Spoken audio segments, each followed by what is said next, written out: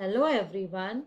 Here is your English teacher, Miss Fauzia Aslam from the Wave Private School.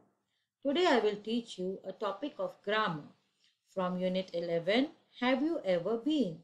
Page number 87, 88, Book Family and Friends, second edition, class book, grade 4. So let's start. So let's revise present perfect. What is present perfect? The present perfect refers to an action or state that either occurred at an indefinite time in the past. For example, we have talked before or began in the past and continued in the present time. For example, he has grown impatient over the last hour. Today we will learn present perfect with ever and never. So let's start present perfect with ever and never. In present perfect, when we talk about life experiences, we use ever and never. Now, what is the meaning of ever and never? Ever means at any time. Never means at no time. For example, have you ever ridden a motorcycle? I have never seen a dolphin. By using the present perfect with these words, we focus attention on the action and knowing if the subject has had this particular experience. Let's see the examples with ever. Now in your class book, page 87, you can see present perfect with ever. You can see in the picture, there are some students asking questions to, to Mr. Matt Jones.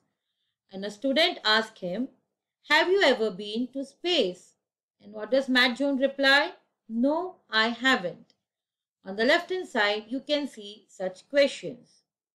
Has he ever been to a desert? No, he hasn't. Has he ever climbed a volcano?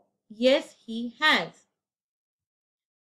Let's do the exercise on the same page. You can see the first image. The first one is done for you. What is the question that can be formed? Have you ever been to a desert? Yes, I have.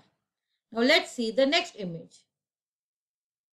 Now in the image you can see an oasis and two girls. And what can be the question formed over here? Have you ever been to an oasis? No, I haven't. The next one. What is the girl asking the man? You can see the image of a space.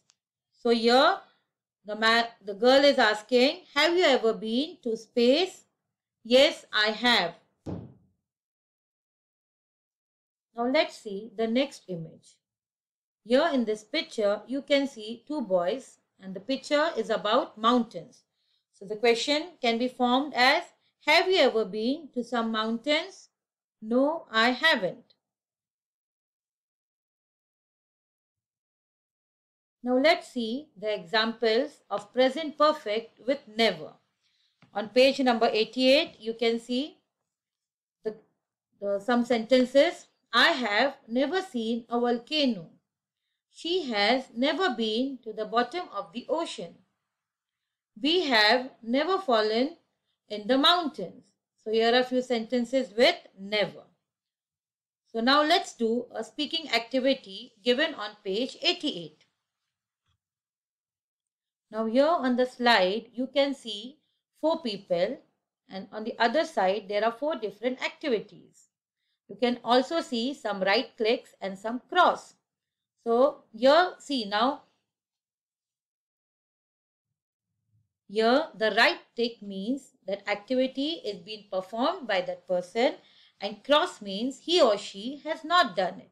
So let's start making sentences. So for the first one, Mr. Dave. So now, Mr. Dave, Dave has climbed a mountain and has been to space and to a desert but has never seen gorilla in the rainforest. So now for Alice.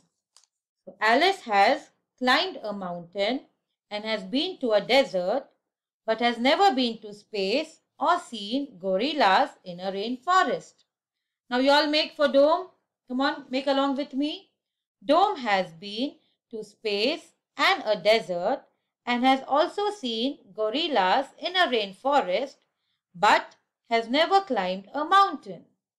Now for the last one, Libby. Libby has climbed a mountain, been to space and has seen a gorilla in a rainforest but has never been to a desert. So now you all write down the sentences in your notebook as a practice. So hope you have understood the use of never and ever with present perfect. Have a nice day. Thank you.